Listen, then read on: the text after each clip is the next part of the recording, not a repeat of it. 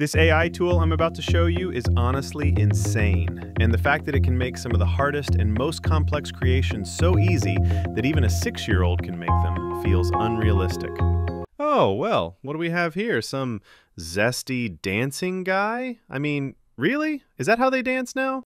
I'm talking about 3D modeling. For those who work in the 3D field, you know how hard and time-consuming it is to make a 3D model like this. It probably takes at least seven hours. I know this because I've used tools like Blender to create 3D models, and trust me, it's super hard.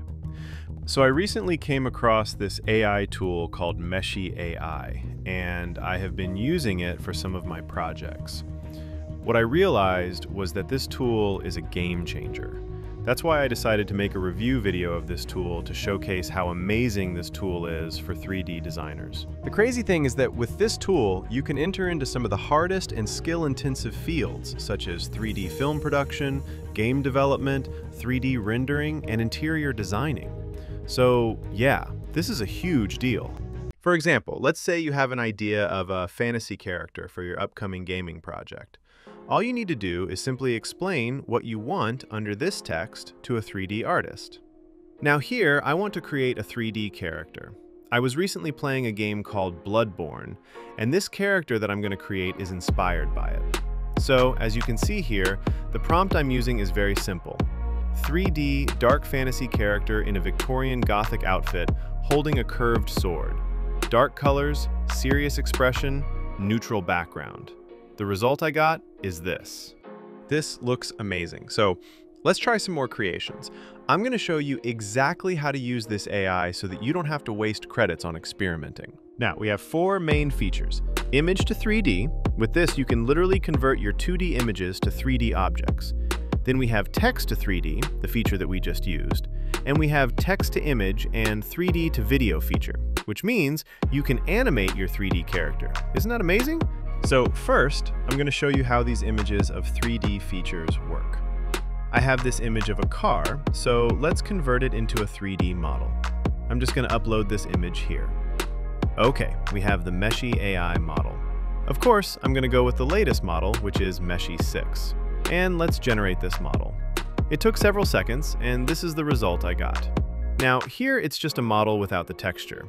If you have used Blender before, you know that we have to add the texture after completing the basic model.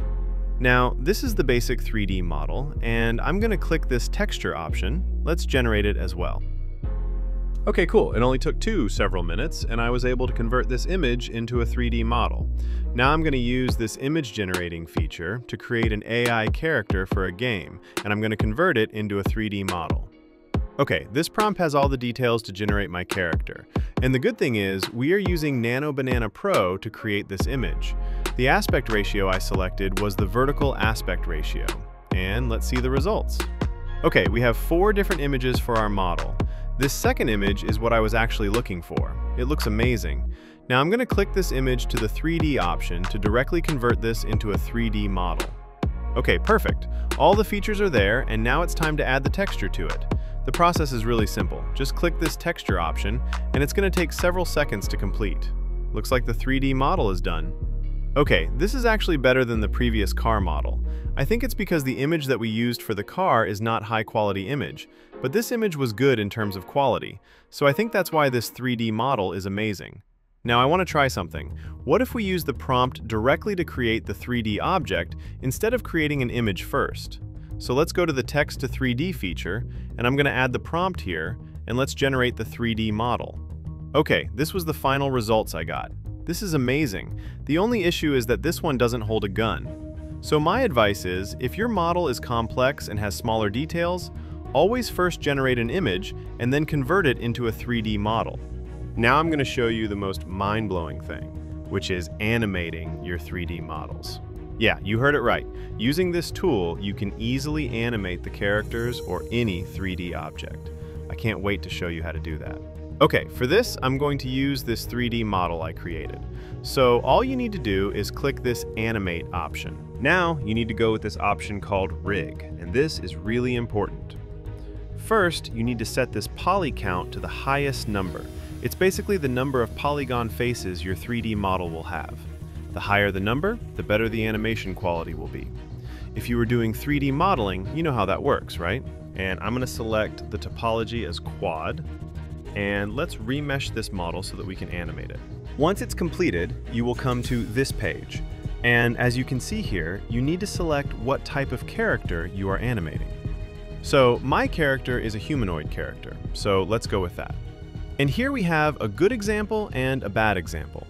Now, if you take a look at this good example, it's a perfectly symmetrical character. Now, make sure to use a character reference like this to animate it. If not, the animation would be like this. Yeah, it sucks. So after that, you need to adjust your character so that this green line is in the middle of your character. Make it as symmetrical as possible.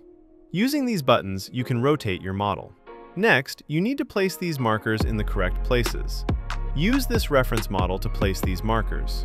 Normally, it's automatically placed in the correct places, but sometimes it can be messy, so make sure to make it perfect. And that's it! Now your 3D model is ready to animate. This walking animation is absolutely perfect and we have like tons of different actions and animations and you can easily use those by just clicking the animation you want. I'm going to try this first animation. It's doing a kick. It's amazing. Just like this, you can add any animation you want for your 3D model. Let's see some of these cool animations. Okay, okay, this is a cool animation. Oh, well, what do we have here? Some zesty dance by here? That's crazy.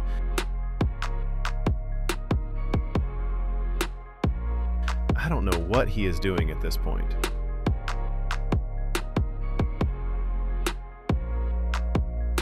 Okay, now this is a crybaby emote, and it doesn't seem bad. Okay, now he is using a bow and arrow, but where are the arrows? Okay, this is a failed jump and it's really good. Okay, what the?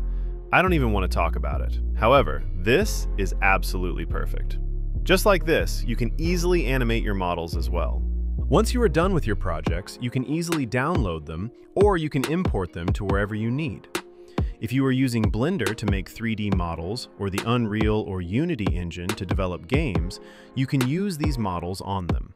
So, Basically, this AI is going to save your time and boost your work 100 times better. If you have never tried something like this, I would recommend you guys to try it. After all, it's a new skill, and I really would love to know what your thoughts on this tool are. So make sure to drop a comment. And I hope this video was helpful and you learned some valuable information about a new AI tool. I will see you guys in the next video.